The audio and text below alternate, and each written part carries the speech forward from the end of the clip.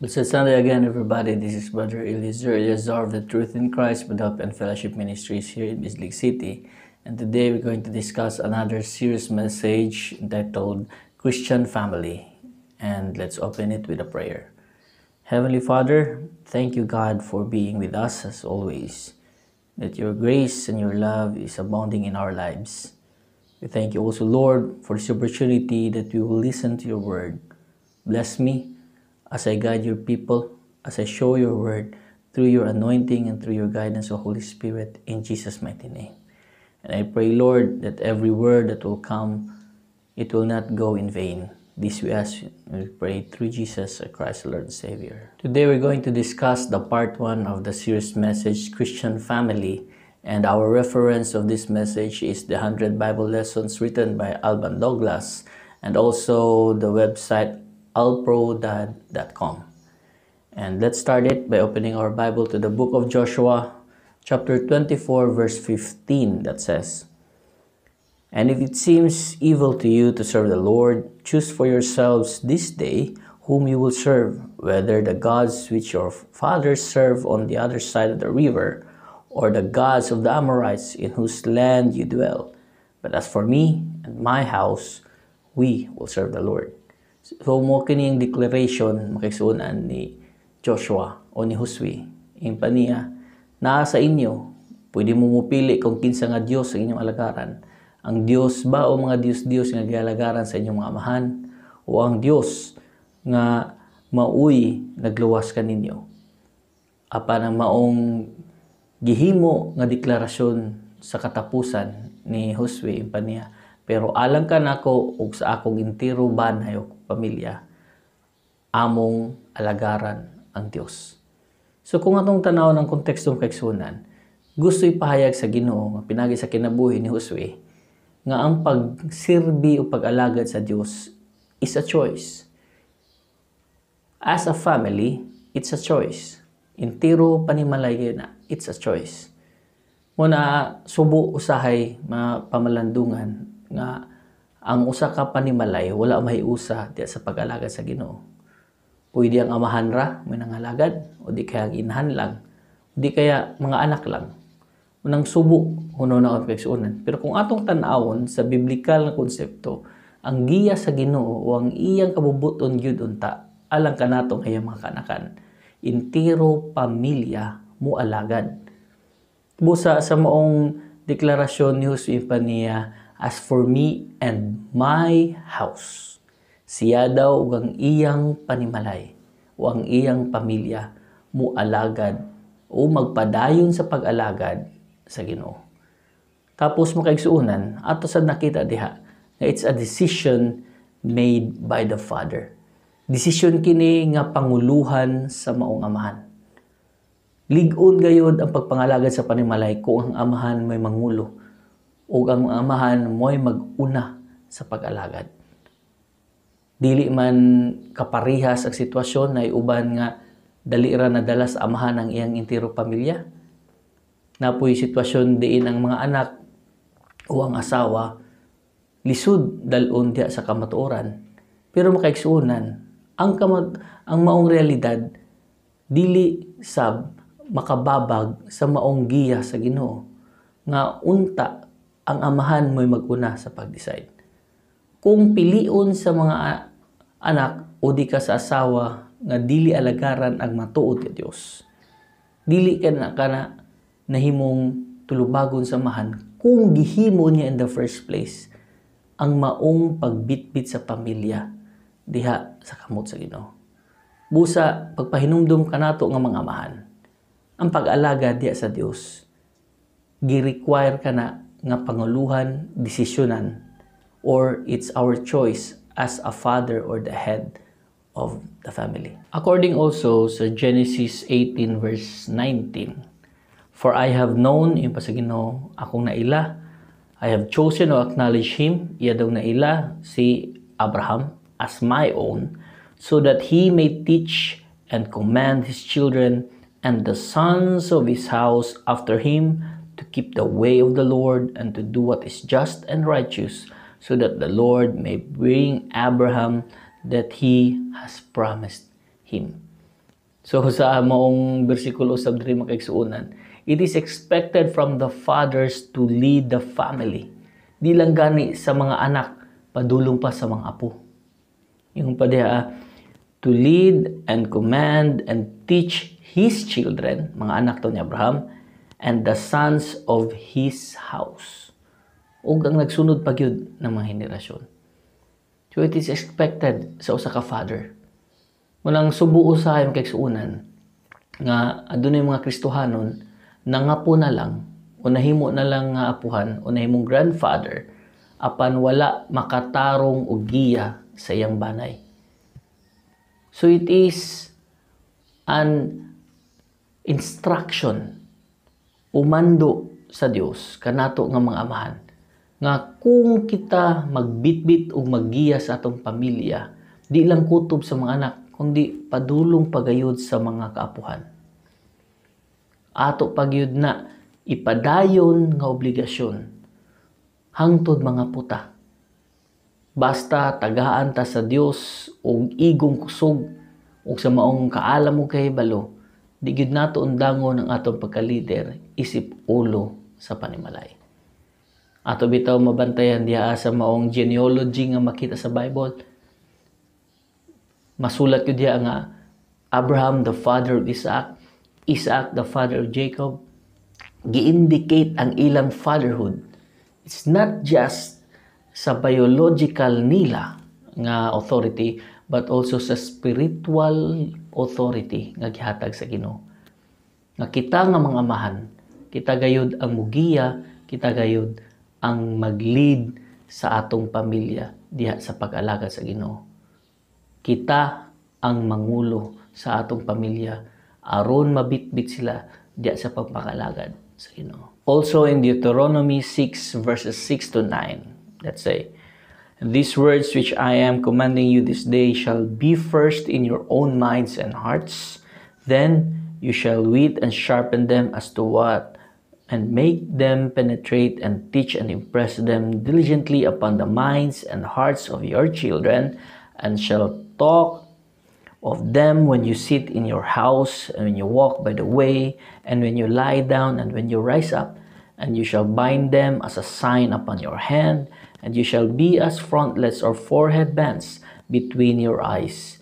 And you shall write them upon the doorpost of your house and on your gates. Ang pahimangno sa Ginoo nga kang Moises nga ang pulong daw sa Ginoo mahitusok sa atong mga hunahuna o kasing-kasing. So ang unang pahimangno sa Dios kanato nga mamahan, ang mga mando o pulong sa Dios kinahanglan na silsil sa atong mga kasing-kasing ug hunahuna. Kay unsa una to paglid sa atong pamilya nga kita mismo wala mapundar diya sa pulong sa Dios. Kita mga amahan pundado unta diya sa pulong sa Ginoo. Kita mga amahan na establishar diya sa pulong sa Dios. Pagkatapos impaniya, imo kining gamiton. Sharpen them as to what and make them penetrate and to teach and impress them diligently upon the minds and hearts of your children. Nga di lang kutob sa ato ang mga kaalam mo kay balo, ato ni ihatag ug i-share ngadto sa atong anak. So, ang ikaduha nga mang pahimangno sa Ginoo nga kang Moises human nga masilsil sa unahuna o kasing-kasing sa matagamahan itudlo kini sa matag anak itudlo kini sa mga kaanakan o di ka sa imong mga anak busa makaigsuunan ang maong pagpanudlo nato mga amahan dili kayud maundang dili kausa lang sa usa ka lifetime apan magpadayon samtang buhi pata ang atong pagpanudlo sa atong mga anak magpadayon samtang buhi kat buhi pata. Itudlo nato ang pulong sa Dios samtang buhi pata. Tapos yung padraa sa verses 7 to 9, you shall talk with them and you sit in your house and when you walk by the way and when you lie down and when you rise up. So always be reminded sa word ni God.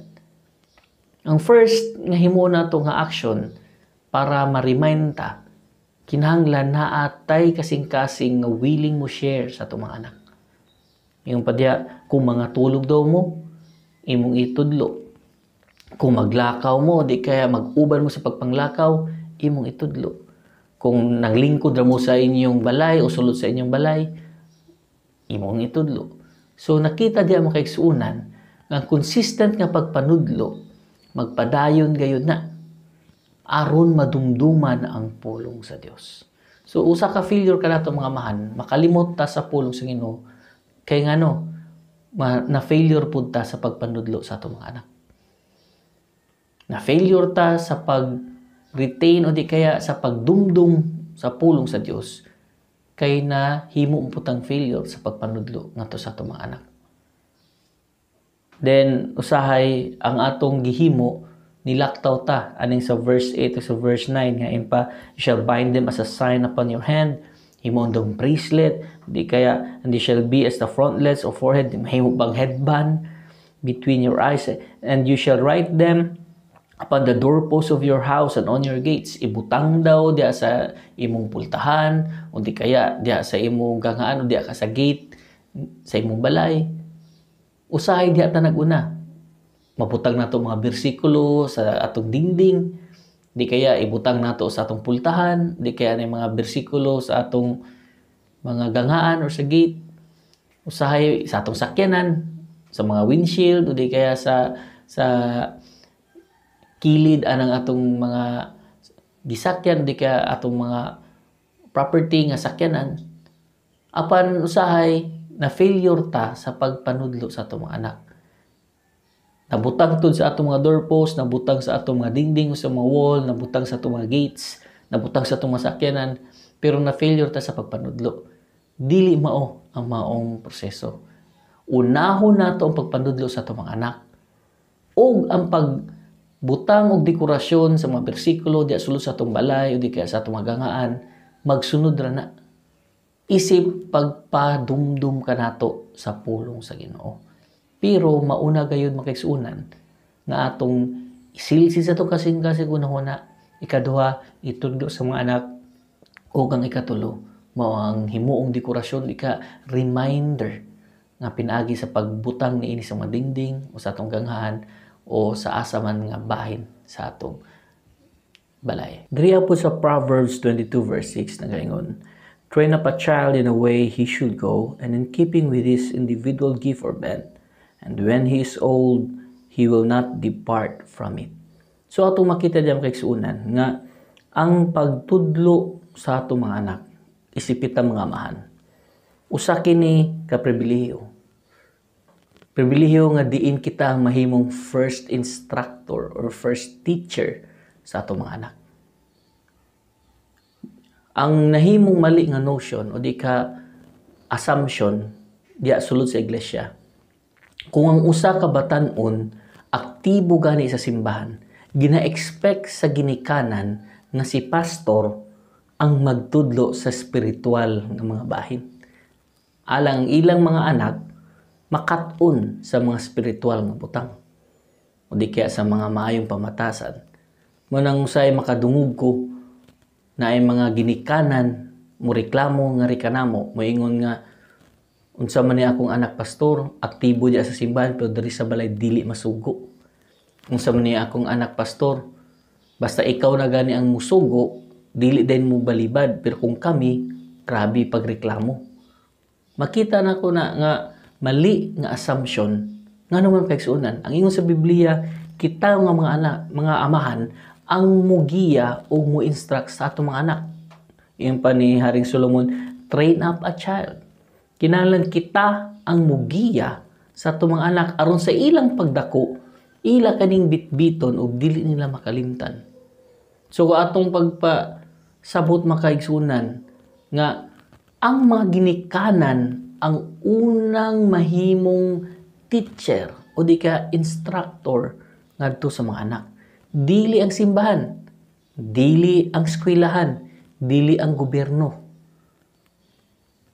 Kinahanglan masabot nato ni nga pagtulunan aron mahimo maplastar usab ang maong pagtubo sa mga Kristohanong anak. Di ka mga anak nato nga mga magtotoo diha kang Kristo. Manang pagpadumdum ka nato mga mahan, kita ang first instructor. Kanato nga mga ginikanan kita mga first instructor nga mutudlo ngadto sa mga anak. Dili nato isalig kang pastor, di nato ihatag ang tanang obligasyon sa spiritual nga bahin ngadto kang pastor. Kaya in the first place, sa spiritual nga butang, ang mga ginikanan unta ang nahimong source, unang source sa pagkaton sa mga anak. Munang mali gid mga kaigsuunan nga assumption. Usahay ibasol pa nato nga maayo ra man ka anak dito sa simbahan. Kay masugo ka pero dris balay dili. Mali gyud ang assumption mga kaigsuunan. Ang kinaiya og batasan sa anak nagmold yun na diya sulod sa pamilya. Naguna yun na nga naplastar diya sulod sa pamilya. Busa, kita nga mga ginikanan, naa sa ato ang pribiliyo. Isip mahimong unang instruktor, ayaw usiki. Ayaw sayangin na nga tsansa. I-grab nato ng opportunity aron ato mga anak matudluan kung unsa may kabubuton sa atong buhay nga Dios. And also in the book of 1 Chronicles chapter 29 verse 19 says, And give to Solomon my son a blameless heart to keep your commandments, testimonies, and statutes, and to do all that is necessary to build the palace for you for which I have made provision. So ato nakita diyan kasing-kasing ni Haring David. Sa kasing-kasing iyang giampo ang iyang anak nato sa Dios. Kita nga mga mahan, usasa ni kahagit ka nato. Kung gusto nato ang atong anak mga lagad sa Ginoo, kung gusto nato ang atong mga anak malambigit sa ministry, kita mga mahan ang muampo nga o Dios ang akong anak ilambigit diha sa imong bulaton. Naa sa ato mga mahan ang obligasyon sa pag-ampo nga ang atong mga anak mayabot og maduol diha sa pagpangalagad sa Ginoo. So mga kaigsuunan, dili lang to isalig sa atong mga brethren o brothers and sisters in Christ ang obligasyon nga iampo atong mga anak aron mga lagad. Di nato i sandig kanila ang responsibilidad. Unang-una, kita nga mga ginikanan, labi na kita mga mahan, kita gayud ang mga muyo sa Dios o sa atong Ginoo aron ang atong mga anak mahitugyan diya sa pagpangalagad kaniya. Atong iampo nga o Dios ang akong anak bitbita sa pag-alagad kanimo. Aron ang atong tinguha nga kita isip panimalay makaalagad sa atong buhi nga Dios. Nang hinaot ko kay suunan nakatunta sa mga mensahe karon nga isip amahan kita ang mangulo it is a choice it is a decision aron sa pag-alagad dia sa Ginoo di lang kita apan atong mabitbit ang atong pamilya Pagkatapos mo igsuunan, it is expected from God to us. Nag-expect ang Ginoo nga kita nga mga amahan ang mutudlo ngadto sa atong mga anak ug atong mga apo o di ka sa mabuti ng mga apo sa wala pa mga apo. O ang maong pulong sa Ginoo may silsi sa atong kasing-kasing unahuna ug atong mahitudlo diha sa atong mga anak. Ug guman ang pagtudlo sa atong mga anak mahimo ning magpadumdum kanato Pwede nato ibutang sa itong dingding, himong dekorasyon o di ka magpahinumdum kung unsa man kamaayo ang Ginoo ug unsa man ang iyang kapabuton. Ug dili ta mulaktaw kisunan nga ibit ibutang lang nato sa mga dingding apan maguna gina nga masilsi sa atong kasing-kasing una-una ug atong may tudlo sa atong anak. Ug isip mga amahan, usa kini ka pribilehiyo nga mahimo tang first instructor, the first teacher sa atong mga anak di nato na usikan, i-grab nato ang opportunity. Kay kung di nato sila matudluan, lisod, ingon pa, lisod bawgon ang kahoy nga o lisod tuliron instead lisod tuliron ang kahoy nga bawog. Muna kung nabaw siya sa pagkagamay, hinahinayon og tulid yung paniharing Solomon sa mga proverbio. Busa kita mga amahan, it's a privilege to be a teacher, the first teacher to our children, sa atong mga anak. Di nato na isalig sa kang pastor, di nato isalig sa eskwelahan nga makabalos la sa maayong pamatasan o di kaya makabalos sa kabubuton sa Dios. Kita nga mamahan ang mahimong first teacher nga magtudlo kanila. Kung isip mga amahan, kita usab ang muampo. Iampo na to sila. Ayaw isalig kang pastor. Ayaw isalig sa imong asawa. Ayaw isalig sa imong mga kaubanan sa simbahan. Kita mismo, isip amahan, ang muampo nga ang atong anak malambigit diha sa buluhaton. Ang hinaot ko nga nasabtan nato atong mensahe karon, ato kinitapuson pinagis mga pagampo. O Dios nga labing gamhanan, dalaygon ka. Salamat kayo do Ginoo sa pag hatag sa kaalam mo kahibalo.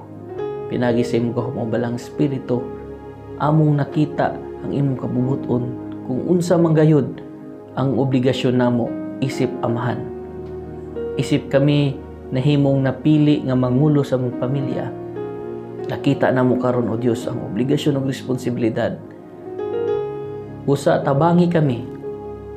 Tabangi kami nga among mabitbit among pamilya di sa pagpangalagad kanimo. Tabangi kami o Dios nga among matudluan ang among mga anak ug mahipasa kini sa among mga apo ug sa nagsunod pang henerasyon. Tudloy kami o Dios nga imong mga pulong musilsil sa among kasing-kasing ug unahon di na mo makalimtan ug may tudlo na mo kanunay diya sa among mga anak. Ug mahimo uning pagpahinumdum sa matag karon ug unya sa among pagkinabuhi ni kalibutana. Tabangi kami, isip mga mahan, mahimo kaming unang instructor nga to sa among mga anak.